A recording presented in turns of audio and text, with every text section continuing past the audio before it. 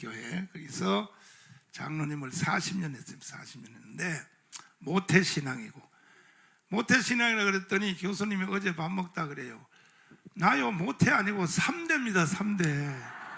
할머니 때부터 예수 그 바로 평양에 불 떨어질 때 그 할머니하고 그 어머니가 거기서 불을 받은 거예요. 그래서 한국에 와서 김학성을 낳았다고요. 낳았는데 장로님, 네. 아, 또 내가 또 내 자랑을 한번 하려고 장로님을 불러낸 거지 유도하려고. 네, 네. 예. 창세기 1장 이런 설교 들어본 적 있어 없어요? 솔직히 없어요. 없죠. 네. 독특한 독특한. 그러니까 하나님이 장로님 앞에 뭔가 잘 보인 거야. 잘 보여서 마지막에 하나님이 저한테 딱 갖다 붙여. 네, 예. 예. 틀림없어요. 감사합니다. 예.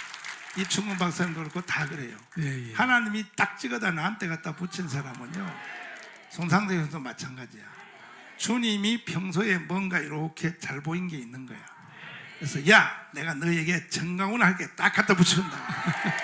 그래서 이제 말씀이 열리기 시작했는데 아니 저녁에 하는 불집회 있잖아요. 예, 예. 한 번도 안 빠지고 장로님 나는요 처음에 나오시기에 한 세 번 나오고 때려칠 줄 알았는데 이야 그 장로님 왜 계속 계속 제가 그 사랑제일교회 와서 네. 제일 이제 제 삶에 있어서 열등감을 제가 처음 느끼고 살고 있습니다. 아, 열등감을 하하 거꾸로 됐네 제가 그 우리 사랑제일교회 교인들 보면 이 그 사랑과 진실이 넘쳐요. 예, 이 말씀에도 넘치는데 어, 이, 불, 이 성령의 그 은, 세례, 성령 세례를 음. 많이 받으신 것 같아요. 그래서 저는 하나님께서 아직 안 주셨는데 그래서 다들 그 하- 제가 그 우리 목사님 말씀 끝나고 그 기도를 이제 하- 하는데요. 열심히 해도 전 20분을 못 넘기겠더라고요. 에, 근데 우리 교인들은 뭐 한 시간 이상 어, 제가 끝까지 남아보지 못했는데 그래서 제가 살면서 이렇게 열등의식 느끼고 산 적이 없습니다. 근데 제가 그래서 에, 목사님 말씀도 은혜스럽고 또 저녁마다 그 집회에 참석을 제가 해야 될 것 같고 또 은혜도 넘치고 그래서 제가 하여튼 하나님께 기도하고 있거든요. 그래서 제가 어떤 형태로도 하나 어, 좀 이렇게 저이 불세례를 좀 받으려고 제가 역시 보니까요 이 공부를 많이 한 사람은 불 받는 것도요 그 다 끼로 받으려고 아주 목숨 걸고들 반드시 옵니다 감사합니다. 예, 내가 이, 내가 붕에 50년 해본 경험학상 사모하는 자는 100% 받아요. 그리고 또 이렇게 하나님이 애를 태웠다 주는 사람은 더 세게 와요. 반드시 옵니다. 반드시 오는데 또 우리 목사님께서 또 아주 귀한 말씀을 주시잖아요. 그 이제 24 장로가 누구냐 할 때도 구약 성경의 그 저자라고 제가 우리가 보통 제가 평소에 의문이 뭐였냐면 12, 12 그럴 때12 사도에다가 12 지파라고 그랬는데 12 지파라고 한다면 그한 사람이 아니기 때문에 24 장로의 개념에 포함이 될까? 그 의문을 가졌지만은 그냥 뭐 넘어갔거든요. 근데 장로 목사님께서 24 장로가 근데 그 에, 구약의 말씀을 어, 지은 쓴 그 이제 기록한 사람이라고 해서 일단 그 말씀은 논리가 맞는 것 같더라고요. 그래서 제가 그런 점도 있고 바로 또 엊그제인가요, 목사님? 그 무교절날 베드- 이제 헬라인에게 말씀하신 것도 제가 딱 들으면서 아 이게 지금 하늘의 밀알이 떨어졌을 때의 문제가 무교절과 헬라인을 연계를 해서 이해를 해야만 역시 장로님은 똑똑하시네. 아니 그래야 되겠더라고요. 지금 여 밑에 있는 사람들은 멍해가지고요. 그게 뭔 말인지 몰라요. 그게. 제가 그래서 예전에 목사님께 꽃을 하나 드렸다 그랬잖아요. 역시 장로는 장로네. 왜냐하면 그 제가 그 합동 측에서 성 교육을 받았기 때문에 천사의 문제라든지 이거, 이것에 대해서 많은 교육을 받지 못했습니다. 성경에는 분명히 명시적으로 천사가 많이 나오는데 미가엘하고 가브리엘 이외에는 제가 저- 전혀 감을 못 잡았는데 목사님께서 천사의 얘기를 쭉 설명해 주시니까 특히 나사로가 천사에게 들려서 아브라함 품에 갔다고 돼 있는데 그렇죠. 왜 천사가 거기 왜 나오냐 말이죠. 그렇지. 그래서 제가 그때 목사님 너무 감사해 가지고 그렇지. 고추 하나 사다 사 왔었어요 제가 사실상. 근데 제가 지난 지지난 주인가요? 24장로 했을 때 어, 목사님이 그 구약의 저자라고 하셔서 제가 집사람 뭐 그랬어요. 야 이거 다시 또 꽃송이를 또 사야 되겠다. 근데 며칠 전에 이제 바로 말씀하신 게 목사님이 그 무교절 때에 헬라인을 말씀하셔서 아, 이 꽃값이 많이 나가겠다. 제가 이제 그걸 알아들으셨구나. 너무 목사님 그게 감사하더라고요. 예. 내가 그 요한복음 12장을 수도 없이 설교했는데 예. 장로님 같이 이렇게 반응한 사람이 거의 없어요. 아, 그건 느끼셨, 너무 어려운 거야. 느끼셨겠죠, 뭐 다들. 예. 네, 그게 명절에 예. 헬라인들이 네, 예. 예수를 찾아왔다. 네, 예. 그 찾아온 배경 왜 명절은 무교절이다.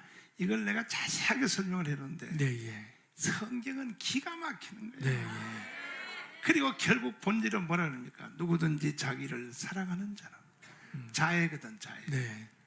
잃어버릴 것이. 예. 누구든지 자기를 미워하는 자라도 이 말이 뭔 말인지 이게 바로 바울 서신에서 십자가의 도를 말하는 거거든. 네, 예. 정순대, 야 장로님 아셨네. 참 감사하네. 오늘도 이 말씀 다 이해했어요? 저 네. 지금 이제 제 제가 혼돈이 좀 온 게요.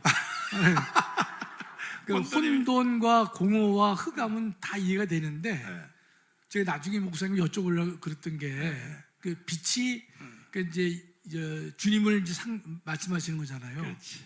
근데 그럼 그 다음에 이제 첫째 날 지나고 둘째 날에서 아. 날이 바뀔 때의 문제는 어떻게 되는지 제가 그게 좀 머리에 남더라고요, 목사님. 그것도요 이미 내가 설교해 놓은 게 있어요. 아 그렇습니까? 예. 왜 그냥 만들려면 그냥 하루 하루에 다 만들어 버리지? 음. 왜 하루가 되며 또 하루 아침이 되고 저녁이 네, 되니 네, 예. 첫째 날에 왜 이렇게 하냐? 네, 예. 왜 아침이 되고 저녁이 되니 왜 그게 단계적으로 나왔냐? 네. 하나님이 하나님이 이 한 단계를 마치면 다음 두 번째 날로 갈 때에 하나님이 한번 달아보는 거야.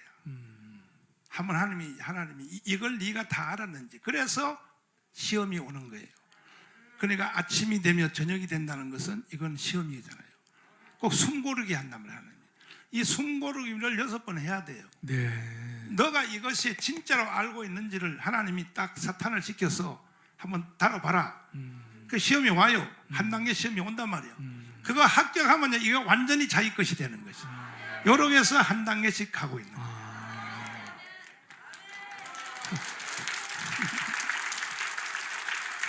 장로님, 네, 예. 성경 얘기하려면 또 새로 집회해야 되니까 그렇습니다. 간두고 예, 예. 장로님이 지금 이 시점에 하나님이 저한테 갖다 붙인 진짜 중요한 것은 뭐냐면요. 헌법입니다, 헌법. 그러니까 이번에 3일, 저 3월 9일 날 네. 대선이 어떤 의미냐 하면은 건국 후 70년 만에 힘겨루기에 그렇습니다. 총 결산인데 네.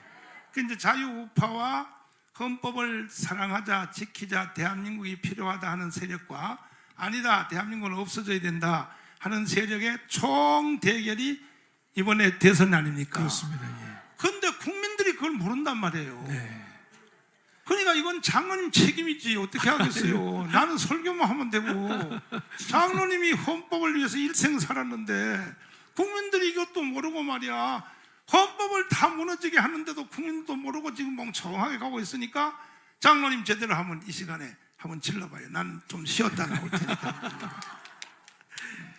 그 이번에 선거는 다 아시다시피 좌파 우파의 싸움이라기보다는요 대한민국 세력과 반대한민국 세력의 싸움이다 그렇게 볼 수밖에 없죠. 여러분 다 이해하시겠지만 에, 그래서 우리가 에, 저도 이제 참 여러분과 마찬가지로 안타까운 게 전과 사범이 후보가 돼 있는데 그 사람이 지금 저 이 여론조사에서 아직 이렇게 일, 어, 1순위를 가고 있다는 게 정말 우리 모두가 참 부끄럽기도 하고 안타깝기도 하고 왜 그런 식의 우리 국민들이 생각을 하시는지 참 답답합니다. 어, 그래서 어, 그 우리가 단순히 사범 정도가 아니라 전반적인 그 사상과 이념 등이 우리 대한민국을 무너뜨리려고 하고 또 그분은 예컨대 좀 말마다 그 우리 문 대통령은 어제 말한 걸 오늘 바꾼다는데 그 이모 씨는요 말하는 중에 바꿔요.